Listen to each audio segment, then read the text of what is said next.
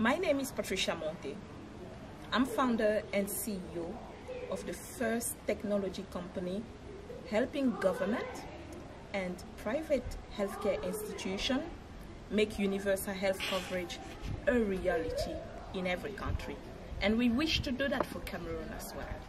We do that with couples of products, among which a digital hospital, an offline medical record with which you can travel the world with your Cameroonian passport, and many other services such as evacuation, finding financing for healthcare institutions, and buying equipments.